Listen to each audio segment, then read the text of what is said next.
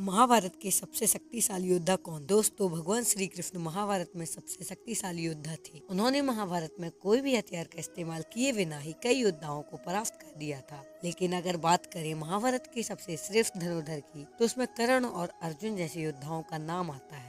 कर्ण और अर्जुन दोनों ही सर्वश्रेष्ठ धनुर्धर थे। लेकिन महाभारत में कर्ण और अर्जुन जैसे योद्धाओं को छोड़कर एक और महान योद्धा था, जिसका नाम बारवारिक था। बारवारिक महाभारत के सबसे श्रेष्ठ धनुर्धर थे। उनके पास तीन अनूप बाण थे, जिनसे लोगों पर विजय प्राप्त कर सकते थे। बारवारिक भीम के पौत्र थे और बारवारिक ने अपनी माँ को यह वचन दिया था कि वह उसी पक्ष से युद्ध करेंगे, जो पक्ष युद्ध में हार रहा हो। भगवान श्री कृष्ण को यह बात भली भांति पता थी। कि बारवारिक महाभारत के युद्ध में भाग लेने से समस्त वीरों को अकेला ही मार सकता है। बारवरिक एक योद्धा होने के साथ साथ एक महान दानवीर भी था। भगवान श्री कृष्ण ने बारवरिक को युद्ध में जाने से रोकने के लिए अपनी कूटनीति का इस्तेमाल करके उसका सर उस दान में मांग लिया था और बारवरिक ने अपना सिर काट कर भगवान श्री कृष्ण को दान में दे दिया था, जिसके बाद भगवान श्री कृष्ण ने बारवारिक को वरदान दिया कि वह उनके अवतारों में पूजनीय स्थान प्राप्त करेंगे।